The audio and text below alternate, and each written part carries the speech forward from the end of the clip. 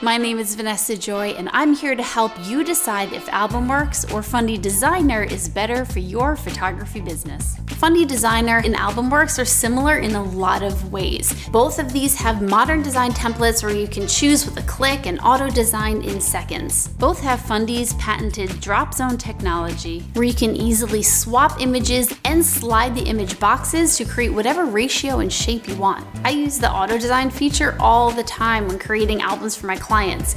Both options have all of the album sizes and safe zones for over 150 different album printing labs.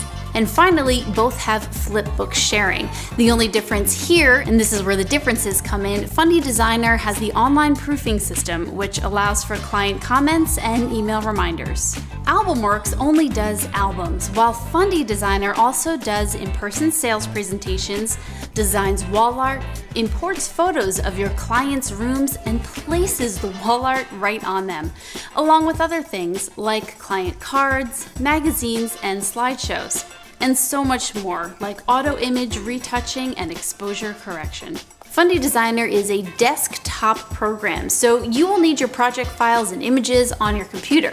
AlbumWorks is web-based, so you can log in anywhere and start designing, which is kind of cool for someone like me who's on the road a lot.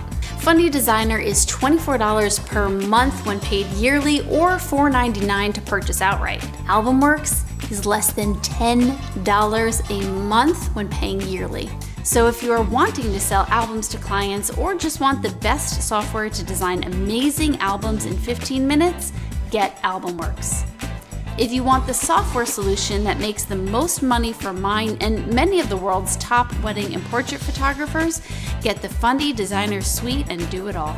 I love that this makes fast, easy, and customizable album design accessible to anyone. Take a look at AlbumWorks and see if it's right for you.